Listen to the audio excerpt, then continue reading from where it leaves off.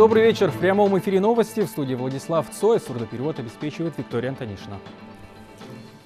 Независимость – фундамент процветающего Казахстана, потому сегодняшний праздник для многих особенно значимый. Страна прошла большой и непростой путь становления и развития. Под руководством президента Нурсултана Назарбаева за эти годы произошли кардинальные преобразования. Как результат, Казахстан узнаваемым на международной арене и демонстрирует не только социально-экономический рост, а стал своего рода островком стабильности и межнационального согласия. О достижениях Казахстана за период независимости расскажет Назым Тинельбаева. За 23 года Казахстан достиг впечатляющих результатов, став полноправным и авторитетным членом международного сообщества под руководством главы государства. Уже забылись сложные времена становления после развала Советского Союза. В стране не было собственных средств, что тут говорить о реформировании экономики и полной перестройке. И мы видим те достижения, которые за 23 года достигнуты. Когда произошло э, падение Советского Союза, когда мы потеряли хозяйственные связи, стоял вопрос, как выживать.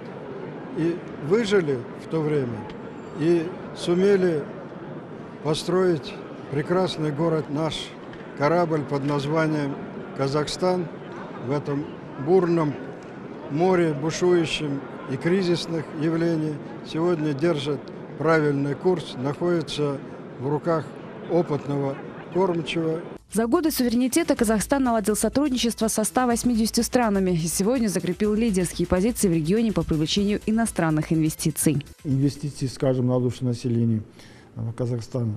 Э, по, по этой позиции мы практически занимаем первое место. Были годы, когда прямые инвестиции шли в Казахстан пределах там 20-18 миллиардов долларов. А в этом году тоже, значит, э, Насчет этого обстоит дело э, неплохо.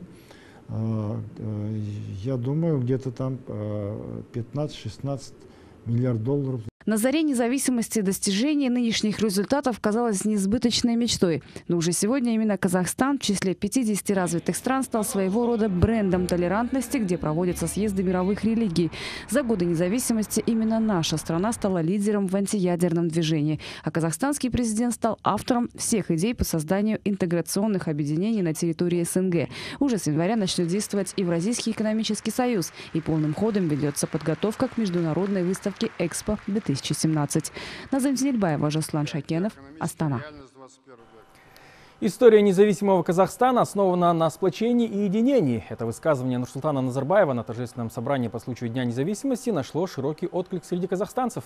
Один из ключевых месседжей главы государства прост, но жизненно важен. Успех страны напрямую зависит от единства народа. До момента декларации, э, принятия декларации о независимости Казахстана Казахстан из себя представлял многонациональное государство.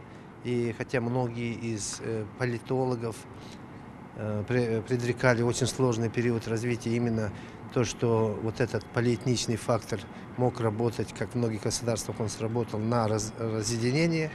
В Казахстане, благодаря вот такой взвешенной политики, внутренней национальной политики, этот фактор стал фактором э, единения, фактором э, стабильности и фактором дальнейшего развития Казахстана.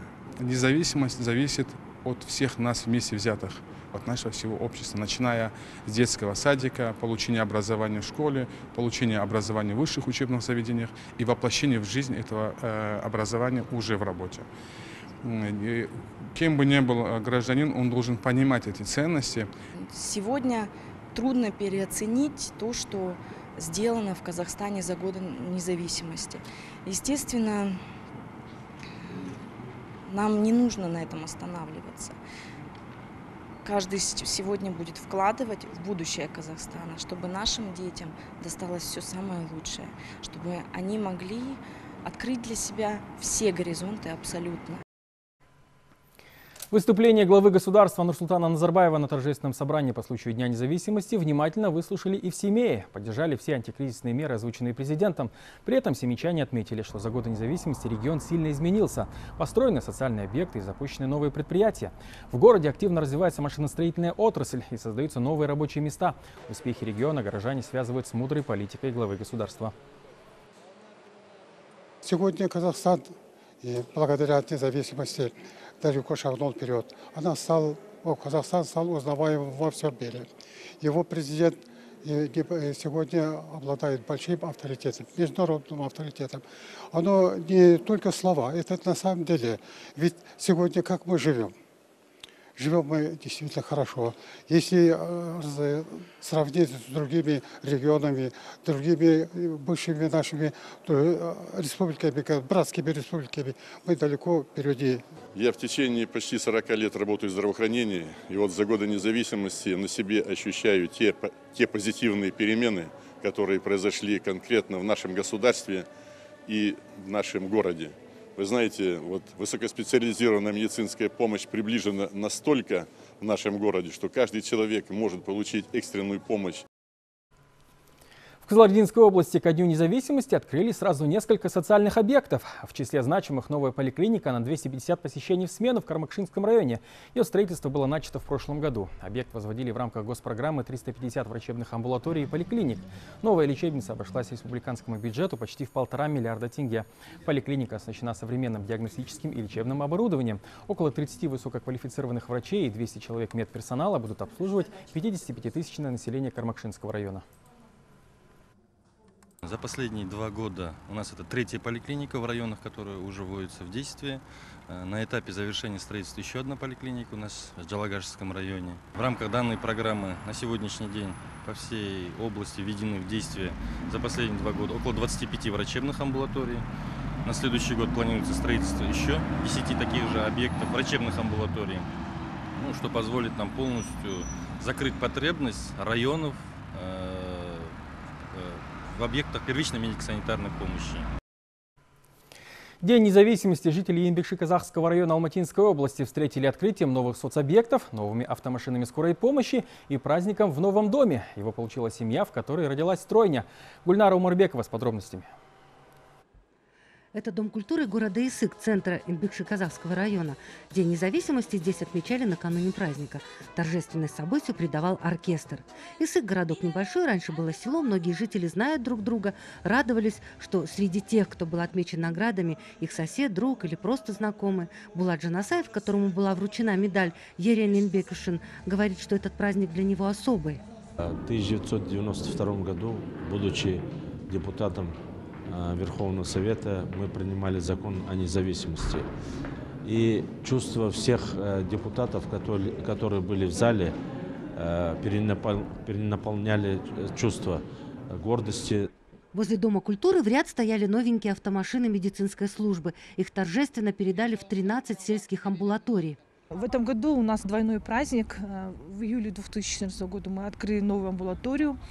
У нас открылась новая амбулатория. Теперь вот мы получаем новую машину. Нет недостатков медикаментов, кадры у нас. Мы получаем СКП. Нам очень, очень большое внимание уделяется государством именно медицине. Кстати, одна из машин уехала в сторону села Тургень, где именно в этот день открылась еще одна амбулатория. Светлая, теплая, с современным оборудованием. Прием пациентов здесь начался сразу после того, как разрезали ленточку. Эту амбулаторию ждали мы давно, потому что было старое здание уже непригодно для этого. Сейчас сделали здание новое, специали- специализированное для аппаратуры новой. Надеемся, что нам еще и врачей прибавится в связи с тем, что здание новое, молодежь может потянуться в село. Наверное, одними из первых пациентов у педиатра здесь будут тройняшки Мадина, Марьям и Малика. Они родились в семье Туртуровых. Вместе со старшими девочками теперь у папы с мамой пять дочек. Тройняшки родились весом меньше двух килограммов. Сейчас им четыре с половиной месяца. Они набрали вес и чувствуют себя хорошо. Совсем недавно семья переехала в новый дом, который им выделило руководство района. Очень-очень рада, потому что у самих такой возможности, конечно, не было.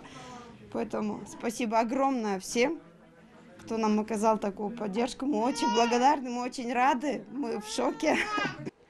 Как говорят родители, свой дом, семья, здоровые дети, мирное небо над головой – это уже большое счастье. Гульнара Умарбекова, Манат Ишпай из Инбекши Казахского района Алматинской области.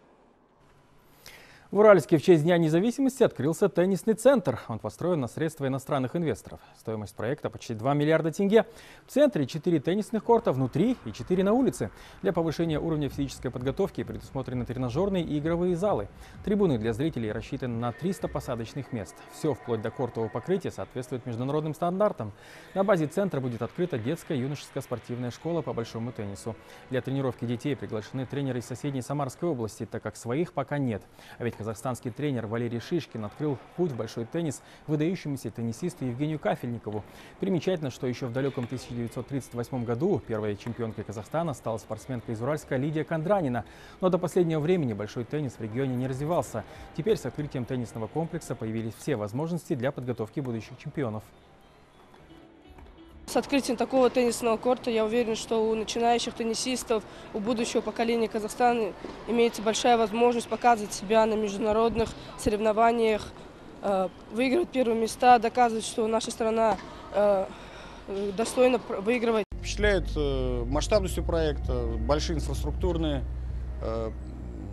вспомогательные помещения. Ну, такого я не видел в России. Условия здесь все для воспитания чемпионов самого высокого уровня. Этот теннисный корт по своим требованиям отвечает возможность проведения здесь турниров ATP, WTA тура. В Алматы на озере Сайран прошел традиционный 18 джип-фестиваль, посвященный Дню независимости. На этот раз количество участников было рекордным. Посоревноваться в этих популярнейших гонках приехали джиперы Астаны, Караганды, Талкургана и Бишкека. 18 лет назад ее организовал первый президент Алматинской Федерации автоспорта Николай Маслов. С этой гонки начинали те, кто сегодня участвует в крупнейших гонках планеты в Дакаре, Африка Эко-рейс, в этапах Кубка мира. Состязания проводятся в классах туризм, ТР-2, спорт и абсолют. В самом сложном классе спорт в первую тройку вошли серии Эрик Тукалов, Руслан Ахмудов и Вячеслав Раков. В этом году все сборы, которые идут от стартовых взносов, спонсорский взнос, все передастся семье одного из гонщиков, который пострадал в прошлом году в аварии. Решили все эти сборы отдать ему на лечение. Это все новости к этому часу. Итоги дня подведем в 9 вечера. До встречи в эфире.